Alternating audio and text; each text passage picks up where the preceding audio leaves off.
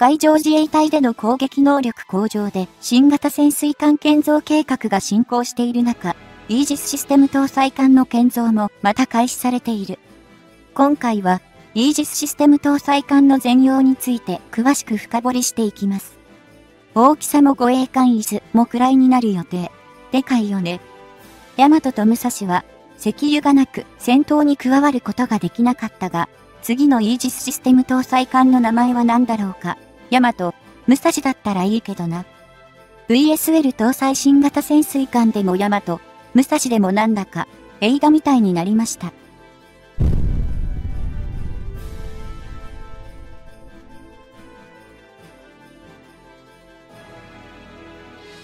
今年2023年度分より、抜本的な防衛予算の増額と、キレに伴う防衛装備品の調達の強化を推し進める渦中に日本はあるが、この2023年8月末には、来年度の防衛予算の概算要求が出され、その内容を具体化させている。2023年度から2027年度分までの5年間の防衛予算の総額は、昨年2022年の時点で、総額でおよそ43兆円となることが打ち出されており、最終年には対 GDP との比率で2%を占めるまでに増額されることが見込まれている。かつて、旧ソ連陣営とアメリカ陣営とに大きく世界が二分されていた、いわゆる冷戦と呼ばれた時期より、日本の防衛予算は対 GDP 比で1%以内とすることが、当時の自民党政権によって不分率ながら継続されてきた経緯がある。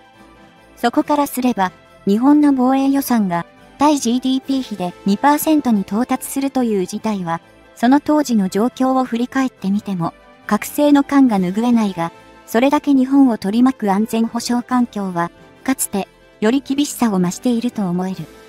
そもそも、1991年に、旧ソ連が自然崩壊を迎えた時点以降からは、従来の冷戦構造が終焉を迎えたと、世界の大半の国が判断し、西側陣営のリーダーたるアメリカでさえも、軍事予算の削減に舵を切るなど、軍縮の傾向に向いていた。これが、再び、軍事費の増大方向に動き出したのは、2000年代以降の経済発展を後ろ盾にした中国の軍備の拡張と、新生ロシアが、石油や天然ガスの価格の高騰で再び経済力を得て、軍事力の拡張に組み出したことが大きい。そして、日本にとっては、これら中国やロシアに加えて、核兵器開発とその孤児によって生き残りを図る北朝鮮の3つの周辺国の存在が大きな脅威となっており、それらへの対処を抜きにした防衛政策は困難となっている。そこで、日本は増額する防衛予算の使途を、これらの国々に対するミサイル防衛や敵の削減地を攻撃可能な長距離打撃兵器の整備に充当することを強いられ、その流れで新たな種類の艦艇の建造を決定した。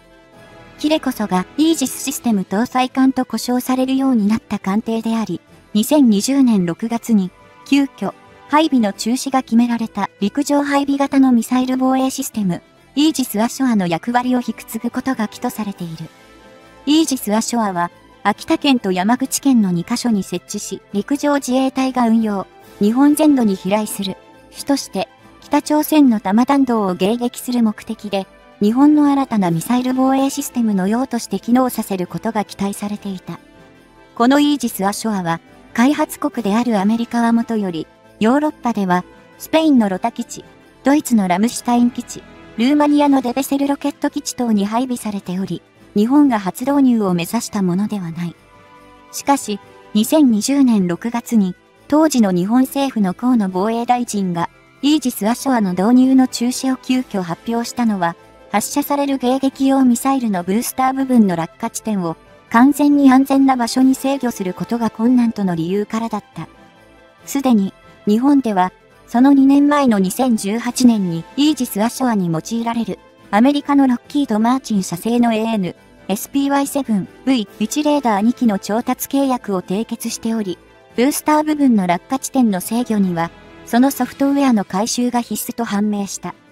しかし、日本が独力でそのソフトウェアの回収を行う時間的、費用負担する予算的な余裕はないと最終的に判断されて、イージス・アショアの導入は白紙撤回されることを余儀なくされ、代替策が検討された。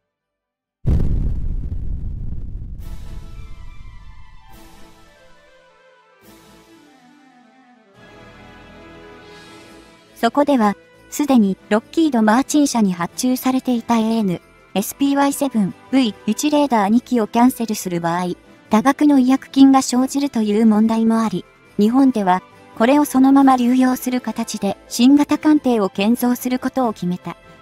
こうした経緯を経て建造が決定したものがイージスシステム搭載艦であり、既存の混合型、アタゴ型、マヤ型等のイージス戦闘システムを搭載するイージス護衛艦と区別するために、その名称が付与される形となった。イージスシステム搭載艦は、2022年の一時期までは、基準排水量が2万トン、全長が210.0メートル、全幅が40.0メートルという巨漢となることが報じられたが、これは、ロッキード・マーチン社製の AN、SPY7V1 レーダーをそのまま搭載するために大型化が避けられないためとも考えられた。しかし、この巨漢のイージスシステム搭載艦の構想は、各方面から懐疑的な声が数多く寄せられ、その後しばらくして、最新鋭のイージス護衛艦であるマヤ型の規模に準じるものに縮小される方向へ軌道修正されると報じられた。そもそも、イージズシステム搭載艦が、そこまでの巨艦となる可能性が示されたのは、陸上配備型のミサイル防衛システムであったイージスアショア用のロッキード・マーチン社製の AN、SPY7V1 レーダーの転用が大きな理由と説明されていた。それが批判を受けて、艦隊の小型化が図れるというのは、当初の説明との整合性がつかないと指摘されても無理からぬ事態ではあったが、まあある程度現実的な規模に修正されたことは、個人的には歓迎すべきことだと感じる。そして、この2023年8月末に、2024年度の防衛予算の概算要求が出されたタイミングでは、イージスシステム搭載艦の使用は、基準排水量が1万2000トン、全長が190.0メートル、全幅が25.0メートルほどだと述べられている。それでも、最新鋭のイージス護衛艦であるマヤ型の場合でも、その使用は、基準排水量が8200トン、全長が170.0メートル、全幅が21.0メートルであり、イージスシステム搭載艦は、基準排水量比で1.46倍にも相当する。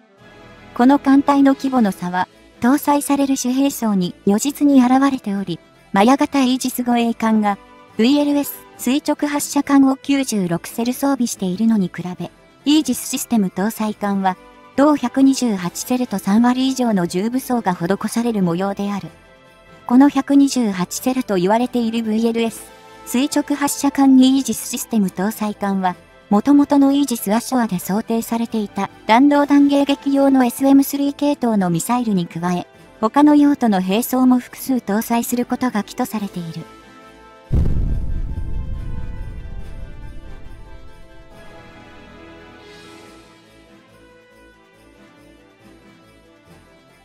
まずは、SM6 ミサイルの搭載が有力視されており、こちらは、敵の航空機や巡航ミサイルは、元より近年配備が進めれつつある極超音速兵器の一種である HGV、極超音速滑空兵器への対処を念頭に置いていると思われる。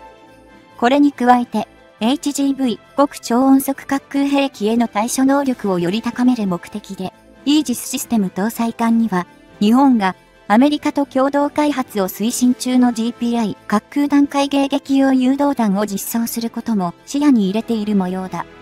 また、国産の一蓋式地対艦誘導弾の能力向上型の間発型や、その完成と配備までのつなぎとして、アメリカから通常のイージス護衛艦用に調達予定のトマホーク巡航ミサイルの運用も選択肢の一つとして考慮されているとめされている。こうしたイージスシステム搭載艦の多種多様な兵装の可能性を鑑みると、かつて1990年代にアメリカ海軍が建造の構想を示しながら実現には至らなかったアーセナルシップに同艦のコンセプトは似ているようにも感じられる。ただし、アーセナルシップは自らのミサイル類の射撃管制を担うレーダーセンサ類を搭載はせず、友軍の他の艦艇等から必要な情報を連携させて攻撃に特化するという形を模索していたため、その点は大きく異なるだろう。アメリカ海軍が施行したアーセナルシップによる強力な対地攻撃能力は、水上戦闘艦としてではなくオハイオ級原子力潜水艦が1番から4番艦までを22機のトマホーク巡航ミサイルの専用の VLS 垂直発射艦を装備する SSGN に改修されたことで代替された。